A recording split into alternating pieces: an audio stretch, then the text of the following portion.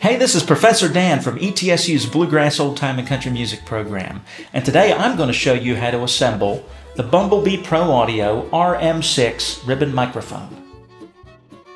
Bumblebee offers a range of professional recording equipment and DIY projects such as the RM6 ribbon microphone. On the website, you can customize your microphone's components and purchase accessories like stereo bars and shock mounts. A detailed assembly guide is available, which covers the same content that's in this video.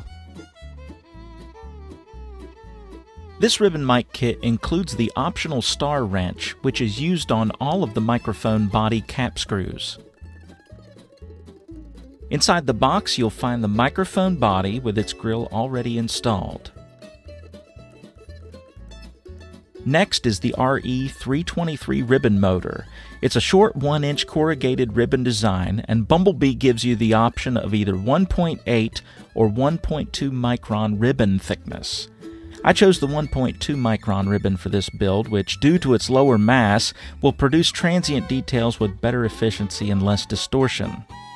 The transformer steps up the very low signal from the ribbon, typically in the microvolt range, and increases that signal by a magnitude of about 35 or 40 times higher. It also matches the impedance of the ribbon to that of the microphone preamplifier. You'll need a short piece of solid wire,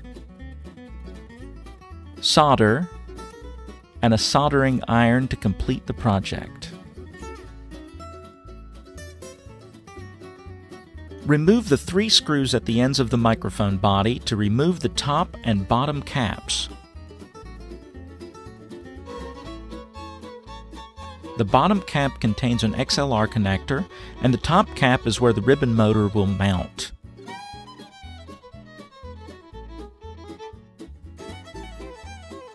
It's a good idea to prepare the XLR connector by flowing solder into each of the three hollowed out pins. This will make it easier to install the wires. Be sure to heat the pins and allow the solder to flow toward the heat.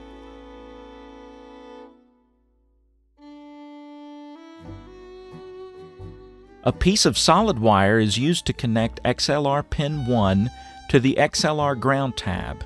I'm using 22 gauge silver hookup wire for this, but you could use a discarded component lead or any other conductive wire for this purpose. Heat the pin to melt the solder and insert the wire. Once cool, clip the wire to length and connect the other end to the ground tab.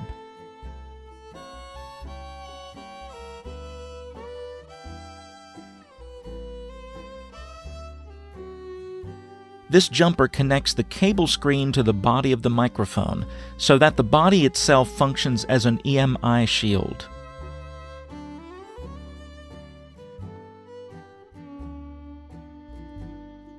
Twisting the output transformer leads also helps to reduce electromagnetic interference, crosstalk, and radio frequency interference. These measures will ensure that your ribbon microphone has clean signal with the least amount of noise possible. The red and black twisted pair connects to the ribbon motor, while the blue and yellow leads connect to pins 2 and 3 of the XLR connector.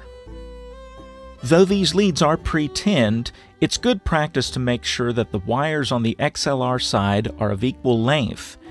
If not, cut them equally, strip the ends, and tin the wire.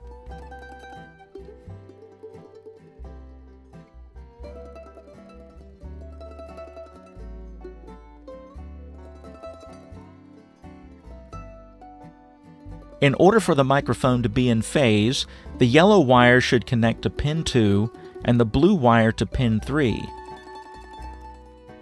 With the wires and XLR pins pre-tinned, all you need to do at this point is heat each XLR pin and insert the transformer wire.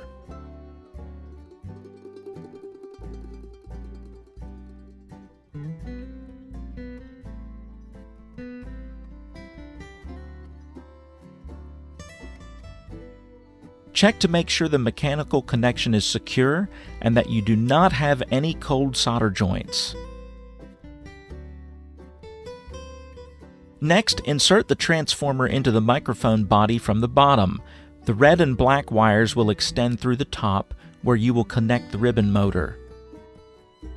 Line up the bottom XLR cap with the body screw holes and insert the screw and fasten it firmly.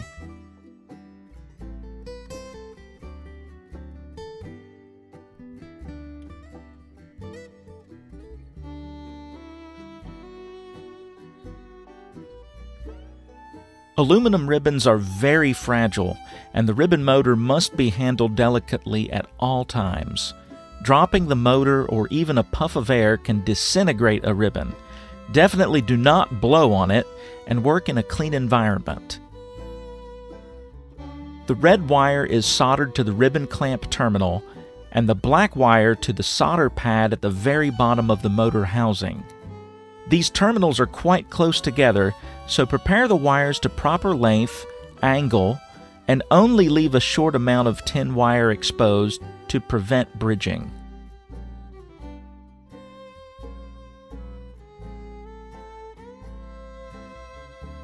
Heat the solder pads just long enough to ensure a solid mechanical and electrical connection. Avoid overheating these pads to prevent damage.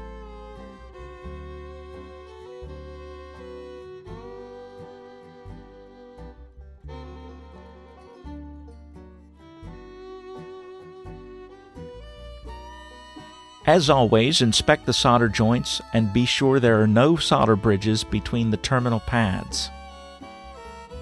Use something long and straight to help push the transformer deeper into the microphone body. You'll need to make sure all wires are clear of the grill area so there is room for the ribbon motor. The solder side of the ribbon motor should face the microphone body side with the Bumblebee logo. The top cap has a screw and slot that align with the ribbon motor. Back out the screw, line up the ribbon motor within the slot, and retighten the screw firmly. Make certain the motor is aligned evenly and that the screw engages the hole in the ribbon motor. At this point, insert the ribbon motor fully, align the screw holes, and attach the top cap with the two screws.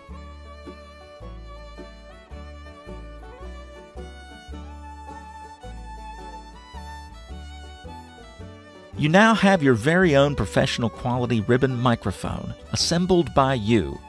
Hook it up and press record.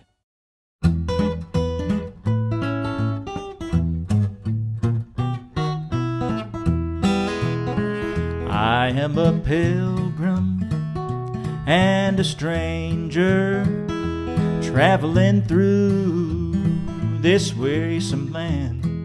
And I've got a home that yonder city, good Lord, and it's not, not built by hands. I've got a mother, a sister, and brother who have gone on before, and I'm determined to go and meet them, good Lord on that bright and happy shore.